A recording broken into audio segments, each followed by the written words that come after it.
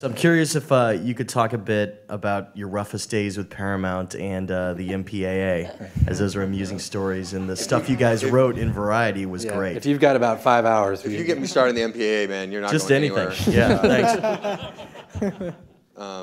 The roughest days. I mean, Paramount. It was just you know. I mean, we'd never done a studio movie like that before, and it was just a, you know, there's just a lot of miscommunication and a lot of things like that they just assumed that we would be okay with, and then we'd be like, no, we're not doing that, and It was really they, they really like- had an attitude of like we know how to do South Park, not you guys. yeah, exactly. Like, you know, so what? and so, but my favorite, I have my favorite story, which is when we were doing the music video. We're supposed to do an MTV music because, of course, all movies do that.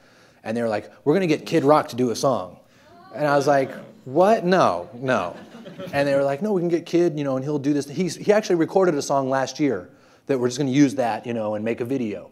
And we were just like, "You don't understand. That's so anti-South So Park. You lame. Don't do that. Please don't do that." we're doing a musical, And- and, like we're yeah. doing a real musical. You know? Yeah. It's like, what are you doing? And uh, and they're like, well, what do you guys want to do? And we're like, we want to do what would Brian Boitano do? And they're just like, no.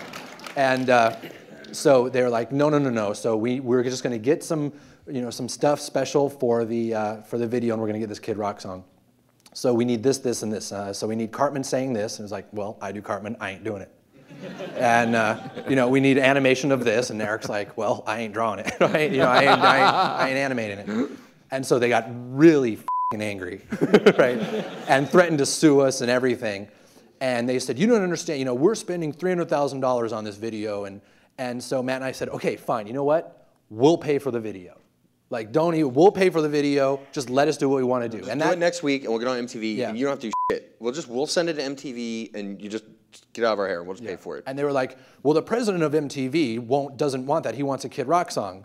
And we're like, well, the president of MTV now happens to be Brian Graden, who we made this whole thing for. He's like one of our best friends. Right.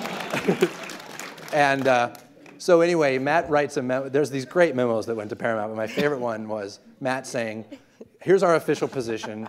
You know, uh, we, we figured out a way to make the video work. yeah, we've, we, here's a, it was called a formula for success. And it said, Dear Paramount, we have figured out a way to make this video work. It's our formula for success. Cooperation plus you doing nothing equals success.